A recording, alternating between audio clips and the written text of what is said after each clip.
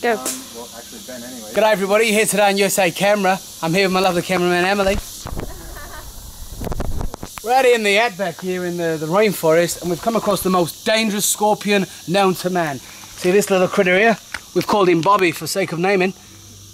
He could kill you with one bite. You see these clippers here? Whoa, he's looking pretty hungry. Oh God, here you go Bobby! this is Bobby. He could kill you with a bite. Good day and fuck off, alright?